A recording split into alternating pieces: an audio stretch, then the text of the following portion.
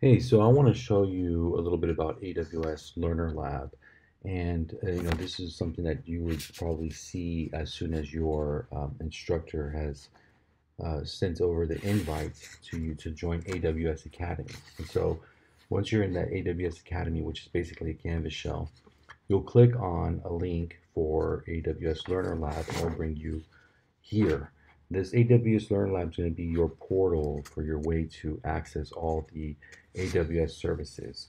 So whenever you want to work on a lab that requires AWS like EC2 or um, RDS or all these different instances, you're going to have to come here first. This is going to start up your AWS instance. And so what you want to do is you want to click on Start Lab. When you click Start Lab, that's going to send command over to AWS where you're going to be able to get everything kind of loaded up. Whenever you don't have Start Lab running, your instance of AWS is, is closed. It's kind of just frozen in time uh, for you. Once you hit the Start Lab, it does take a little bit of time to start running, but once you see that it's running, you'll see here that the green dot will, will come. That green dot means that your AWS status, uh, that means it's running. Uh, when it's yellow, it's starting up. When it's red, it's stopped. You'll see here also a timer. This timer here tells you how long it's going to stay up. Now, as time goes on, there's a countdown that's four hours.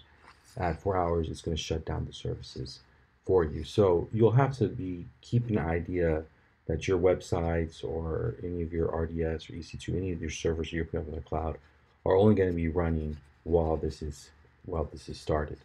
Um, also, you know, this is a great way for you to manage your budget because you can see here, we, uh, we have our credit here, what our budget is. Um, whenever the services are stopped, this budget might not, uh, will be, you know, kind of paused in a way. Um, so you won't be uh, losing the, the, the, student credit that you got um, from AWS Academy. Now, there is some things about the budget that you need to be thinking about. And you can see here under the Learning Lab documentation, there's a lot uh, here about um, you know preserving your budget. It's interesting that you can read through this and it's going to teach you a lot about what's going on with AWS. But um, one thing to know about preserving your budget is that some of the um, some of the instances, like for example, the um, RDS uh, instance, can depending on what one you choose, can still be um, draining from your budget, even whenever you have something stopped. So if you hit the limit on your budget, it will cause you to uh, not be able to run um, the Learner Lab anymore. Now, um, going back over to uh, the Learner Lab environment, you can see here now my time has gone down a little bit to 3 hours and 58 minutes.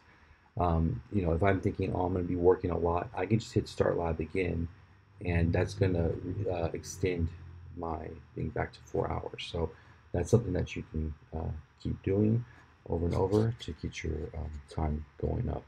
Now, um, whenever you want to connect to your AWS instance, um, you're going to want to click on this AWS link here. And what that does is that opens you up into your Amazon uh, Web Services. You see, I had something kind of mess up for me, but I go back and click here. It's going to take me to my Amazon Web Services, and now you can see here I have my console home. This is where you can see all the different types of services that you can run. If you click here on View All Services, you'll see the types of services that are offered. EC2 is going to be one that we're going to be um, working with a lot.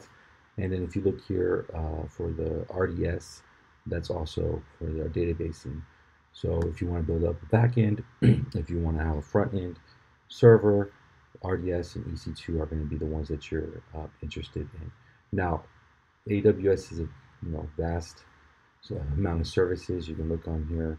The list keeps going on and on with all the different things that you can do in AWS. But normally for geospatial development, we're looking at running servers or running databases and in some cases doing some machine learning. Um, and so those are all things that you could think about um, about working with. Um, if you want to, you know, run a service, you just click on it, and that's where you'll be able to uh, launch an instance for that service. Um, now, for connecting to services, um, you're going to want to do that through SSH tunneling. And so if we go um, back over to uh, to our learner lab and we click on SSH access, for example, uh, you can get some idea of how the type of SSH tunneling you have to do in order to connect to your uh, to your instance. Now, basically, the kind of thing that needs to go on is that you'll have to get yourself an Elastic IP address, and um, and then also set up an EC2 instance. So, you know, in future videos, uh, we'll look at that. But um, the big thing that you need to know about is that there's um, some uh, keys that you'll need to get from AWS in order to work. And this is in the form of PEM file and then also the command line interface um, coding. And so those informations uh, that you'll that are important is going to be back in the uh, Learner AWS Learner Academy, a Learner Lab. And then if I look here and I click on AWS details, that's where you're going to see this information like your AWS CLI, and then here is your PEM file. These are going to be the two keys that you're going to need in order to access services in the future. So, you know, that's just a quick tour of the Learner Lab itself. Uh, you know, there's a lot of things you can do here, um, but the, the key things that come from the Learner Lab is your keys for your encrypted communications, your timer for your lab as it's running, um, the status of your lab with a link going over to the AWS dashboard, and the ability to start and end your lab. Now, the reset button, stay away from that one. Uh, if you click that, that will actually reset your entire session and have it start from zero. So uh, if you're trying to build something like for a project, you want to avoid that button because that will cause you to lose all your work. Um, so that's kind of like the nuts and bolts of the Learner Lab. Let's look in future videos after to see how we set up EC2, RDS, all that kind of thing. So um, anyways, good luck with any of your lab works with AWS.